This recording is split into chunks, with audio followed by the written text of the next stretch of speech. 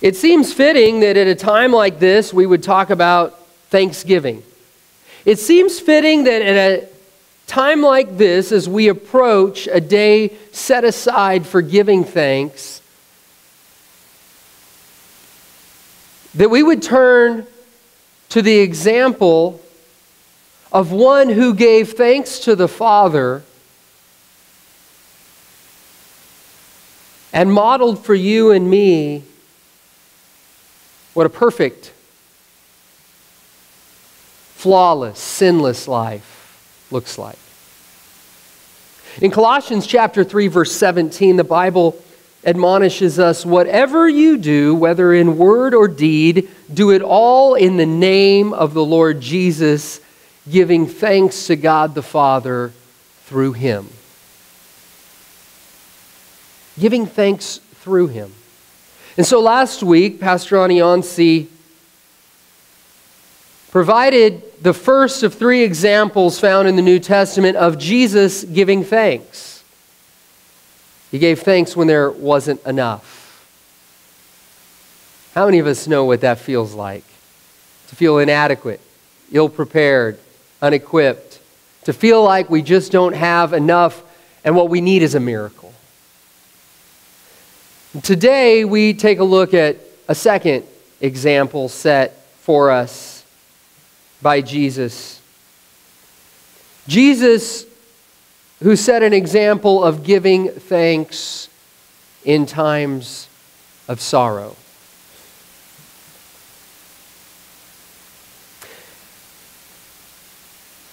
In John chapter 10, we find Jesus in Jerusalem answering the questions of the religious leaders of that day, the Pharisees, as he was teaching, they began to inquire about his authority, and he declared himself to be the Son of God and took it a step further and said that he is one with the Father. This infuriated the religious leaders, as we'll see in a few minutes, and his life was threatened. The lives of those who followed him were in danger, and Jesus traveled across the Jordan River to the place where John, his second cousin, had been baptizing and calling people to repentance. It's believed that he was there when he received news that a dear friend was taken ill. And after some time, Jesus traveled to the home of this friend named Lazarus. And coming upon Lazarus' two sisters and a community mourning the loss of this very good man. Jesus did the unthinkable. When, when I was a child, I heard a pastor refer to this story that's found in John chapter 11 in a funeral service, and it resonated with me. And on many occasions, when I've had the opportunity to celebrate the life of a follower of Jesus Christ, I too have referenced this account. the account of Jesus approaching the tomb of a dead man and doing the unthinkable. In a moment of great sorrow, the Son of God not only gave thanks, but he accomplished the impossible. I want to invite you to turn in your Bibles with me to John chapter 11. As we read together from the Word of God, it is fitting that we stand to our feet. And we begin reading from John chapter 11, beginning at verse 41. So they took away the stone. Then Jesus looked up and said, Father, I thank you that you have heard me. I knew that you always hear me, but I said this for the benefit of the people standing here, that they may believe that you sent me. When he had said this, Jesus called in a loud voice, Lazarus, come out.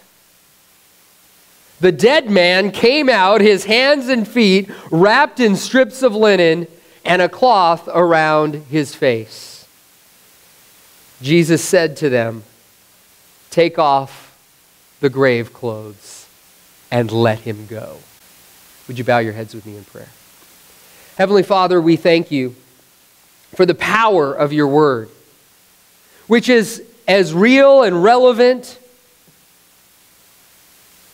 to our lives today as to those who first read these words 2,000 years ago. And the work that you are doing is as necessary in our world today as it was right there in Bethany, as a community was filled with sorrow. Father, I pray that you would give us the strength to give thanks at all times, under all circumstances, even in times of sorrow because you have something greater in store. May we trust in your unfailing love as we thank you for your grace and your goodness. In the name of Jesus Christ. Amen. You may be seated. Well, this is a timely message in light of what many are walking through today in light of the tragedies that we hear about in the news, senseless acts of violence, unexplainable atrocities, the ruthless murder of helpless, defenseless, often innocent men, women, and children. We live in a fallen and broken world. And when you simply immerse yourself in the news of the tragedies of this world, the anxiety, the stress, the sorrow can raise to a boiling point. I would submit to you that there isn't a good time for sorrow. In John chapter 11, beginning at verse 1, we read that a man named Lazarus was sick. He was from Bethany, the village of Mary and his, her sister Martha. This Mary, whose brother Lazarus now lay sick, was the same one who poured perfume on the Lord and wiped his feet with her hair. So the sisters sent word to Jesus Lord, the one you love is sick. People often say, this didn't come at a good time. But is there ever really a good time for sorrow? Really? There isn't a good time for sorrow because sorrow comes during busy times. Sorrow doesn't consult your schedule. Surely Jesus was busy. We read in John chapter 10, verse 31. Again, his Jewish opponents picked up stones to stone him. But Jesus said to them, I have shown you many good works from the Father. For which of these do you stone me? We are not stoning you for any good work, they replied, but for blasphemy, because you, a mere man, claim to be God. Take a pause for just a moment. For many of us who follow Jesus, we have accepted his deity and divinity. But do we recognize how abrasive, how insulting, how controversial such claims truly are? This week I was in Seattle my sister's hospital room. And a member of the nursing staff came into the room and we began to talk, and I asked some questions and listened to the answers. And before long, conversation took a turn, and it became very clear to me that this individual was a practicing and enthusiastic Muslim. I was there to express my love, my care, my compassion for my sister. Not to engage in debate or shift the climate in the room in an unhealthy way. And so I listened. I listened for about half an hour as this man explained to me that Muslims will not insult Jesus as Christians insult Mohammed. Nope. He said they won't because the Quran talks about Jesus. He said Muslims revere Jesus because Jesus, he said, is a prophet. He said Jesus is nothing more, and somehow he didn't consider that an insult. It's kind of like going to a grown man and saying, Wow, you are really cool for a baby. Going to a grown man and saying, Look at all that muscle, and yet you're dependent on someone else to provide for you. Compliment, right? Men, you'd take that as a compliment, wouldn't you? to look at the Son of Almighty God who is co equal with the Father and the Spirit and say he is a prophet like Moses, a prophet like Jeremiah, like Mohammed? No, Jesus is not like them because Jesus not only claimed to be God, he is in fact God. Friends, I want to encourage you today that Jesus was really busy at this point in time when the sorrow came his way because controversy had stirred up around him. We are told in John chapter 10, verse 40, that Jesus went back across the Jordan to the place where John had been baptizing in the early days. There he stayed, and many people came to him. They said, Though John never performed a sign, all that John said about this man was true. And in that place, many believed in Jesus. He was busy doing the very work for which he, who being in very nature God, did not consider equality with God something to be held on to, but took on human form to be the Savior of the world.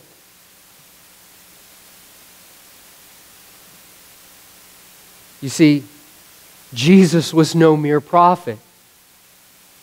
Jesus was the only one who could set men and women and children free from the bondage of sin and death. And Jesus was very busy providing a path to eternal life, doing the ministry that needed to be accomplished. Not only does sorrow come during busy times, but sorrow causes priorities to adjust. You notice the word adjustment there. In John chapter 11, beginning at verse 5, we read Now Jesus loved Martha and her sister and Lazarus. So he heard that Lazarus was sick. He stayed there where he was two more days. And then he said to his disciples, Let's go back to Judea. I, find this intriguing the fact that Jesus didn't drop everything, the fact that he didn't abandon the masses who have just put their faith in him, but rather he stayed for two days to make sure that they were equipped for the next steps because Jesus is all about sharing life's journey.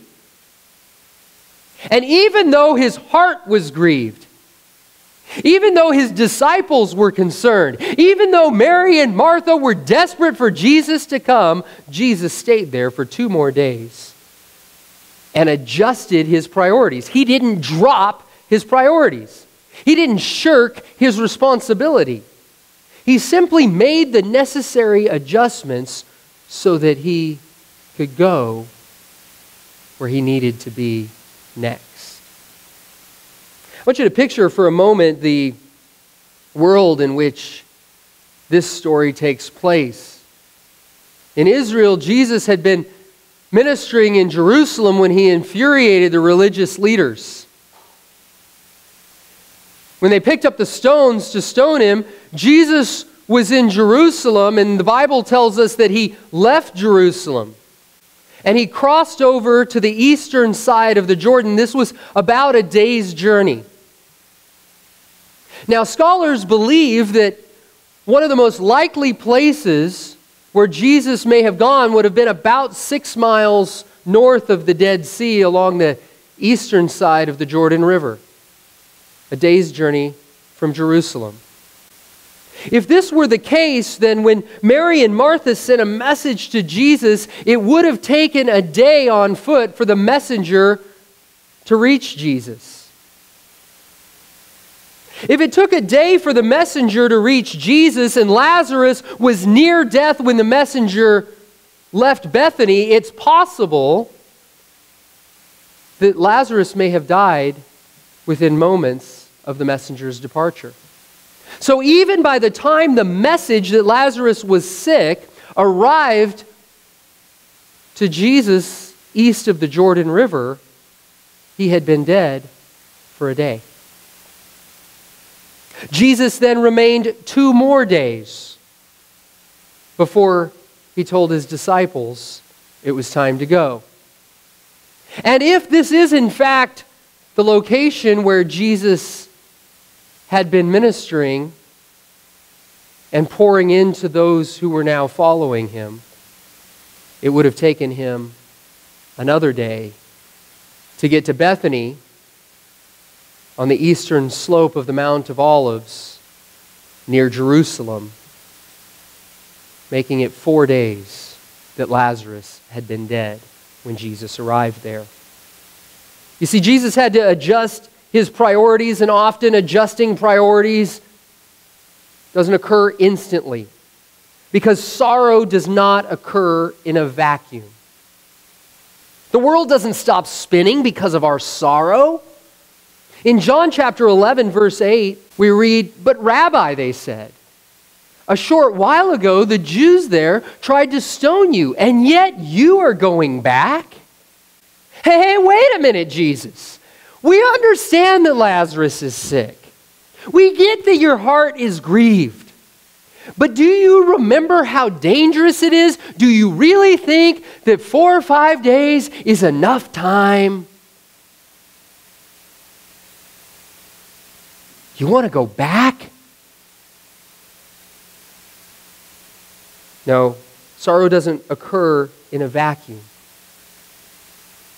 The circumstances of our lives keep swirling in the midst of the challenges that we face. In Ecclesiastes chapter 3, beginning at verse 1, we read, There's a time for everything and a season for every activity under the heavens. A time to be born and a time to die. A time to plant and a time to uproot. A time to kill and a time to heal. A time to tear down and a time to build. A time to weep and a time to laugh a time to mourn and a time to dance, a time to scatter stones and a time to gather them, a time to embrace and a time to refrain from embracing. Many times, as I've read this passage of Scripture, I've pictured these times separate from each other.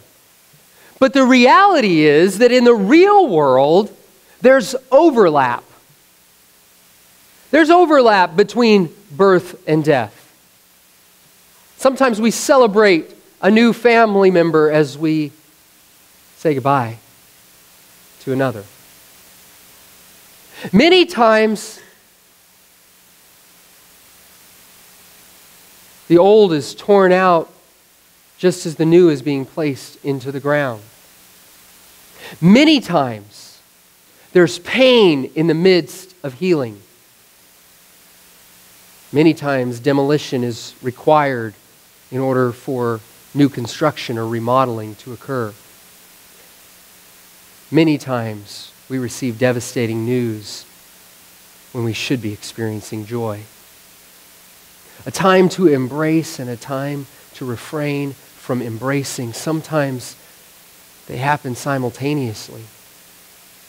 Often we think of, of, of, that phrase eh, eh, like a lover's embrace.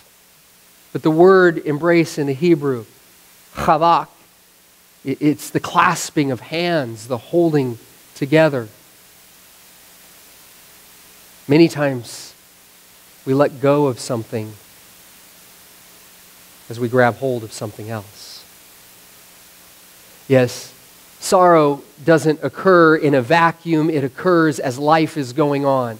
I remember a couple of years ago when our family moved here to Lodi and we began to meet with the church board and get to know this church family and talk about some of the things that God has in store and some of the things that need to occur.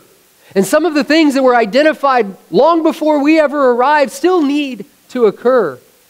There have been occasions when I thought it would be great if we could just hit the pause button, fix everything, and then hit play again. How many of you know what I'm talking about? Wouldn't that be great in your life? Like every day? Hit the pause button, get everything set just right, and hit play again. But life doesn't happen that way. No, life just barrels on, moves forward. Pastor of Saddleback Church, author of Purpose Driven Life, Pastor Rick Warren, put it this way. He said, Rather than life being hills and valleys, I believe that it's kind of like two rails on a railroad track. And at all times, you have something good and something bad in your life. No matter how good things are in your life, there is always something bad that needs to be worked on. And no matter how bad things are in your life, there is always something good you can be thankful for. You see, Jesus had some good things going on near the Jordan River as something bad was happening in Bethany. And Jesus postponed his trip to Bethany for good reason, and yet Lazarus had died by the time Jesus arrived. And there was great sorrow, but I believe that in the example of Jesus, we see an example of sorrow without regret. In John chapter 11, verses 11 through 15, we read, After he said this, he went on to tell them, Our friend Lazarus has fallen asleep, but I am going there to wake him up. His disciples replied, Lord, if he sleeps, he'll get better. Jesus had been speaking of his death. But his disciples thought he meant natural sleep. So then he told them plainly, Lazarus is dead. And for your sake, I'm glad that I was not there, so that you may believe. But let us go to him. Sorrow without regret. Jesus had no regret about the fact that he was not there at the moment of Lazarus' passing or that he didn't get to talk to Lazarus one more time before he died. No regret at all. And even as Jesus is describing the reality of the circumstances that are taking place in Bethany, his disciples misunderstood what was going on. Jesus said that he's asleep, and the disciples think, hey, if he's asleep, he'll get better. That's a good thing. They misunderstood. How many of you know that sorrow can bring misunderstanding? Sorrow can bring misunderstanding. In fact, Thomas misunderstood why they were going to see Lazarus when Jesus said, Let's go to him. Then Thomas, also known as Didymus, said to the rest of the disciples, Let us also go, that we may die with him. Say what? Now, how many of you remember that Thomas is the one who had to touch the nail scars in Jesus' hands and where the spear had pierced his side? We call him Doubting Thomas. And many times Thomas gets a pretty bad rap, but can I just say, there are some things we bring on ourselves. Here's Thomas. Jesus is like, let's go to him. And Thomas says to everybody, let's also go that we may die with him. Why? You, you think that Thomas thinks they're going to get sick? No. I believe Thomas is visualizing the stones flying at them as they approach Jerusalem. It's only been a few days. If we go there, it's over for us, but hey, we'll get to see Lazarus again. Sorrow can bring misunderstanding. In fact, sometimes in moments of sorrow, as we grieve the loss of someone or something important to us, we may want to die ourselves because we don't understand what God is doing in times of sorrow. Martha misunderstood about Lazarus being raised from the dead immediately. In John 11, beginning at verse 23, Jesus said to her, Your brother will rise again. Martha answered, I know he will rise again in the resurrection at the last day. But that's not what Jesus was talking about. Oh no. Jesus meant right now. The crowd misunderstood why Jesus wept. We read in John 11, verse 35, the, the shortest verse in the English translation of the Bible, Jesus wept. Verse 36 continues Then the Jews said, See how he loved him? But some of them said, Could not he who opened the eyes of the blind man have kept this man from dying? They didn't understand that there was a reason that Jesus needed to stay east of the Jordan. That there was a reason that Lazarus needed to not only die, but remain in the grave to a point when there was no hope for his resurrection. When nobody could say, We made a mistake, he was just in a deep sleep. His heart has simply slowed down. No, no, he stinks. His body's decaying. There's no chance. And the crowd misunderstood why Jesus was weeping. I don't believe for a moment that Jesus wept because he was sad at the loss of Lazarus. I don't think for a second that Jesus wept because he felt like Lazarus missed out on how this season of Survivor was going to end, or that Lazarus wasn't going to get to see episode 8 of Star Wars coming out in December. I don't think he was sad that they weren't going to get to hang out and enjoy a meal together. I don't think that's why Jesus wept at all. I believe Jesus wept for an eternal reason. Because he saw the pain and the suffering around him. That he came to heal and to deliver. And that now he would call back one who had entered eternity into this world filled with sorrow. Now, the crowd didn't understand. And again, Martha misunderstood why Jesus wanted the stone to be moved. Perhaps thinking that he wanted to view the body of his friend. Take away the stone, he said in John 11 39. But Lord, said Martha, the sister of the dead man, by this time there is a bad odor, for he has been there for days. She wanted to leave the stone that would prevent the miracle that God had in store because she didn't believe. She didn't know. She didn't understand that God had something gro- so great in store that could only be revealed when that stone was moved out of the way. They all misunderstood that God's glory shines through sorrow. In John 11 40, Jesus said, Did I not tell you that if you believe, you will see the glory of God? Jeremiah 31 describes what happens when God gloriously delivers his people from oppressors that are stronger than they. We read in the latter part of Jeremiah 31 13, I will turn their mourning into gladness, I will give them comfort and joy instead of sorrow. Yes, God's glory shines through sorrow. Sorrow does not change the truth. Jesus didn't wait to see results before giving thanks. Jesus gave thanks for the opportunity to be heard by the Father with an expectation of the results that were yet to come. We read in John 11 41, so they took away the stone.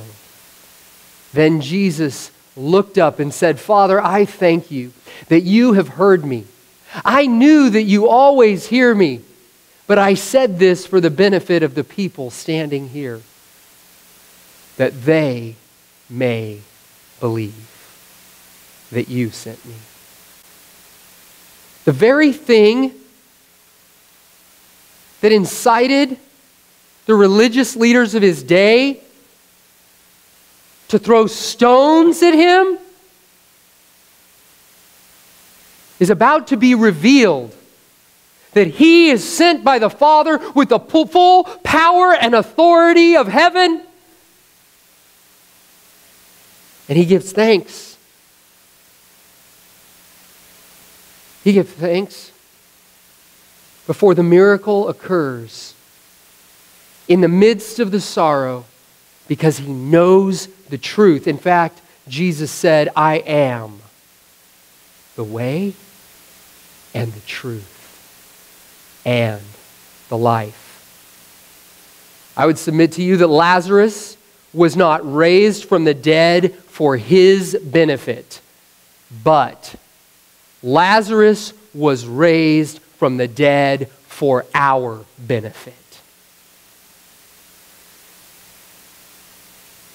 That they may believe that evidence may be given of his awesome power, that those who lived with him and walked with him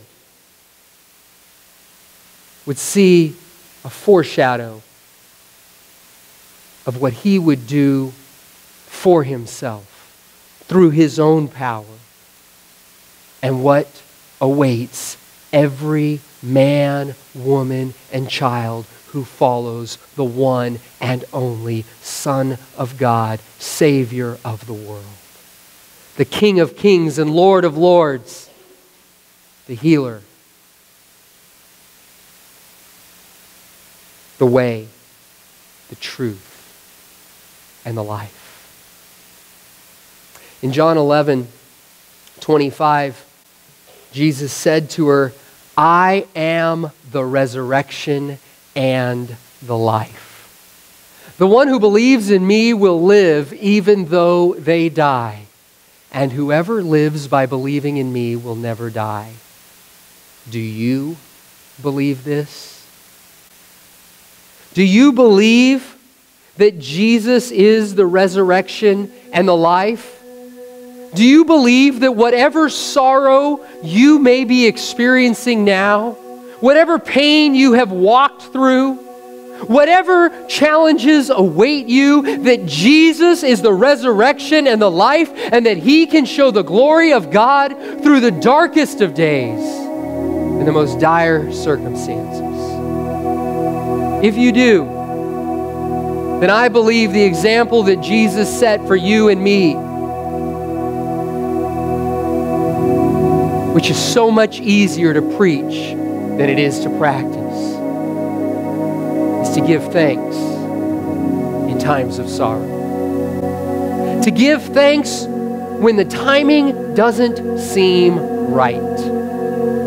To give thanks when your heart aches for things to be different. Give thanks when you hope for a miracle that hasn't occurred yet.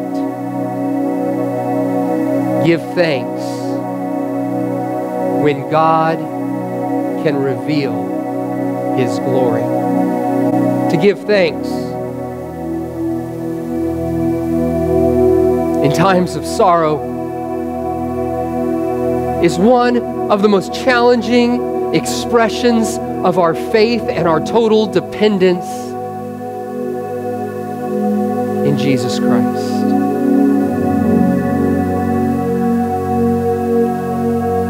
Two days ago, I received a phone call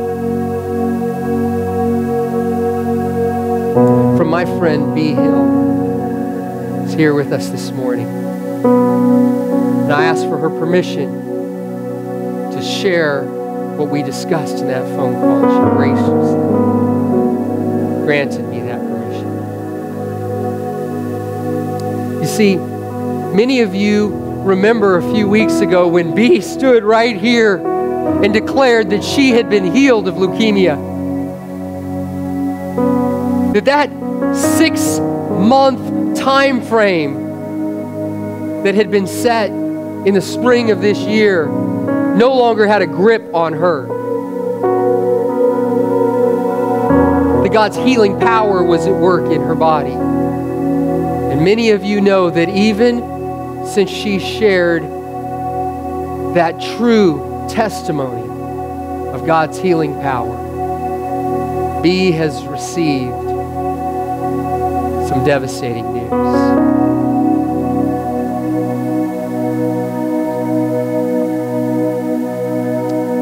Many of you have been praying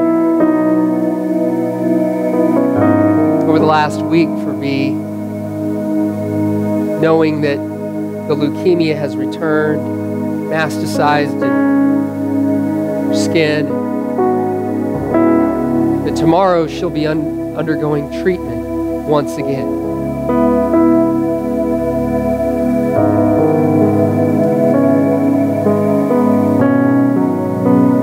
It's hard to give thanks at a time like this.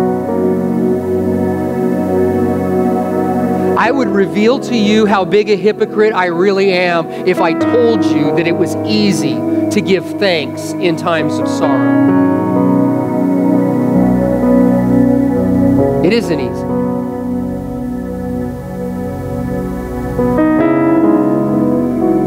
because the, the timing doesn't seem right. I mean, it would it have been good to have a year or two to just kind of bask in the healing power of God?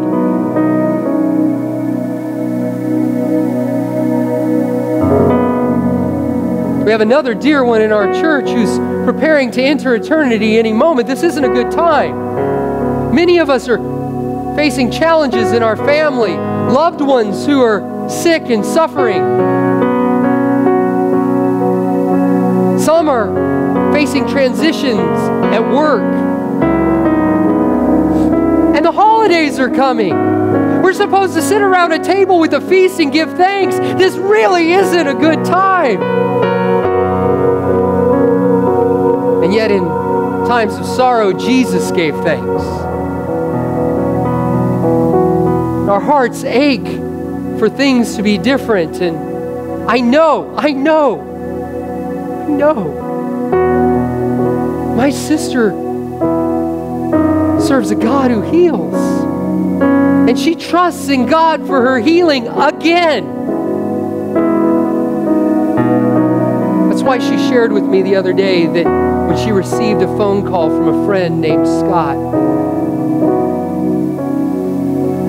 who has not made a decision to follow Jesus Christ.